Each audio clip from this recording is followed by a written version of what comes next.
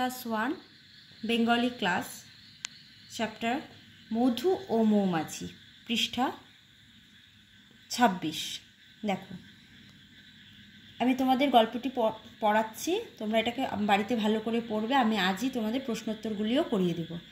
এক দোকানে একটি মধুর কলসি উল্টিয়ে পড়েছিল, ফলে কলসি, কলসির মধু চারিদিকে ছড়িয়ে পড়ে। মধুর গন্ধ পেয়ে ঝাঁকে ঝাঁকে মৌমাছি সেখানে এলো। তারা মধু খেতে শুরু করল। যতক্ষণ এক ফোঁটা মধু পড়ে রইল, তারা সেখান থেকে নড়ল না। অনেক সময় সেখানে থাকাতে ক্রমে ক্রমে সকল মৌমাছির পা মধুতে জড়িয়ে গেল। মৌমাছিরা আর উঠতে পারল না। তখন তারা নিজেদের ধিক্কার দিয়ে আক্ষেপ করে বলতে লাগল, হায়, আমরা কি নির্বোধ? ক্ষণিক সুখের জন্য প্রাণ হারালাম।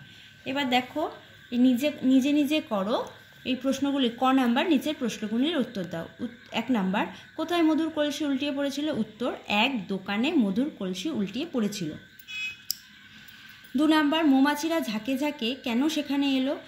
উত্তর, মৌমাছিরা মধুর গন্ধ পেয়ে ঝাঁকে ঝাঁকে সেখানে এলো। তিন নাম্বার, মৌমাছিরা কেন মধুতে জড়িয়ে গেল? উত্তর, অনেক সময় অনেক সময় ধরে মধুর ওপর বসে থাকার ফলে মৌমাছির পা মধুতে জড়িয়ে গেল। চার নাম্বার, মৌমাছিরা কি বলে আক্ষেপ করল?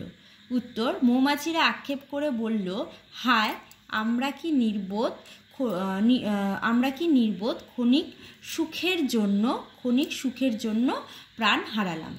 খ নাম্বার, শূন্যস্থানে সঠিক শব্দ বসাও। এক নাম্বার ড্যাশ সুখের জন্য প্রাণ হারালাম। তাহলে কি পড়েছি আমরা? ক্ষণিক সুখের জন্য প্রাণ হারালাম। দু নাম্বার, অনেক সময় সেখানে থাকাতে ড্যাশ সকল মৌমাছির পা ড্যাশ জড়িয়ে গেল। তাহলে অনেক সময় সেখানে থাকাতে ক্রমে ক্রমে সকল মৌমাছির পা মধুতে জড়িয়ে গেল। তিন নাম্বার, এক ফোঁটা মধু ড্যাশ রইল, এক ফোঁটা মধু পড়ে রইল। তারা ড্যাশ নড়ল না, তারা সেখান থেকে নড়ল না।